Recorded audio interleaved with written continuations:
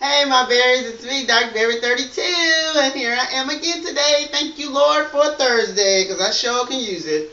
Um, alright, so outfit of the day. I'm the lady in red. Lady in red. That's me. Alright. Today, I have on my black boots once again, because it is cold in Houston. We're talking about freezing weather, y'all.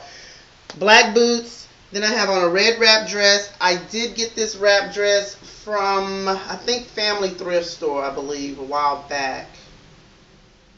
Family Thrift, it's some kind of thrift store I know I got it from. Then I got the black um, short sleeve turtleneck on. I got this also from a thrift store. And then the necklace I got from Claire's. I'm wearing my normal watch. Oops, I took off my ring to put some logo. And then I just have on this little band that I wear every now and then. Then on the ears, I have on these earrings. You guys have seen, if you've been a subscriber for a while, you've seen these earrings for a while. So this is my whole outfit. So let me let you guys see what I'm working with today. Gotta keep that turtleneck down. I don't like that, the line. But this is it.